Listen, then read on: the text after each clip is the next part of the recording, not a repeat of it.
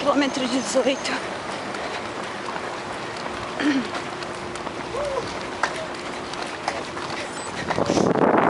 Vou dedicar pra minha prima Cassiara. Eu deixei o 18 pra você, cara, porque eu achei que fosse estar morta. Você adora me ver sofrendo, chorando, morrendo. Mas eu tô tranquila. Então, assim, de qualquer forma, o 18 foi dedicado pra você. Isso é muito positivo. Super beijo, vou pegar água.